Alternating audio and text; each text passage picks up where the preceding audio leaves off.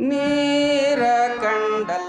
ಲಿಂಗಾಯತ ಧರ್ಮವು ವೈದಿಕ ಮೌಢ್ಯಗಳನ್ನು ಮೆಟ್ಟಿ ನಿಲ್ಲುವ ಶಕ್ತಿ ಹೊಂದಿದೆಯೇ? ಇತ್ತೀಚಿನ ದಿನಗಳಲ್ಲಿ ಸಮಾಜದಲ್ಲಿ ಅದರಲ್ಲೂ ವಿಶೇಷವಾಗಿ ನಮ್ಮ ದೃಶ್ಯವಾಹಿನಿಗಳಲ್ಲಿ ಈ ಜ್ಯೋತಿಷ್ಯ ಮತ್ತು ಪಂಚಾಂಗದ ಹಾವಳಿ ಅತಿ ಹೆಚ್ಚಾಗಿದೆ. ಈ ಪಂಚಾಂಗ ಅಥವಾ ಜ್ಯೋತಿಷ್ಯ ಶಾಸ್ತ್ರದ ವೈಜ್ಞಾನಿಕ ಸತ್ಯಗಳು ಐತಿಹಾಸಿಕ ಸತ್ಯಗಳು ಏನೇ ಇರಲಿ ಆದರೆ ಇದರ ಮೂಲಕ ಸಮಾಜದಲ್ಲಿ ಆಗುತ್ತಿರುವ ಅನಾಹುತಗಳು, ಶೋಷಣೆಗಳನ್ನು ನಾವು ಅಲ್ಲಗಳೆಯಲಾಗದು. ಹಾಗಾದರೆ ಲಿಂಗಾಯತ ಧರ್ಮದಲ್ಲಿ ಈ ಜ್ಯೋತಿಷ್ಯವನ್ನು ನಂಬುವ ಪದ್ಧತಿ ಇದೆಯೇ? ಶರಣರ ವಚನಗಳು ಇದನ್ನು ಸ್ಪಷ್ಟವಾಗಿ ನಿರಾಕರಿಸುತ್ತವೆ.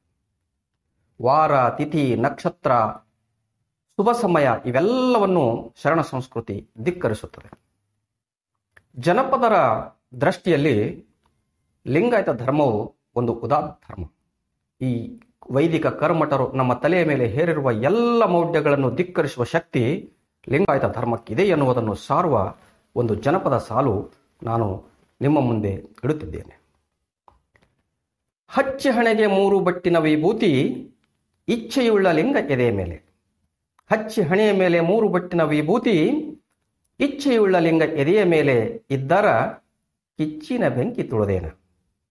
ಈ ಬಹಳ ಚುಟುಕಾದ ಜಾನಪದ ಸಾಲಿನಲ್ಲಿ ಎಷ್ಟೊಂದು ಅರ್ಥ ತುಂಬಿದೆ ಎಂದರೆ, ಹಣೆಯ ಮೇಲೆ ವಿಭೂತಿಯನ್ನು ಹಚ್ಚಿ, ಕೊರಳಲ್ಲಿ ಇಷ್ಟಲಿಂಗವನ್ನು ಧರಿಸಿದ ಲಿಂಗಾಯತನಿಗೆ ಶತಶತಮಾನಗಳಿಂದ ಈ ಸಮಾಜವನ್ನು ಸುಡುತ್ತಿರುವ ಕಿಚ್ಚೆಂಬ ವೈದಿಕ ಮೌಢ್ಯವನ್ನು ತುಳಿಯುವ ಶಕ್ತಿ ಇದೆ ಎನ್ನುವುದನ್ನು ಇದು ಬಹಳ ಸ್ಪಷ್ಟವಾಗಿ ಸಾರುವ ಜಾನಪದ ಸಾಲು.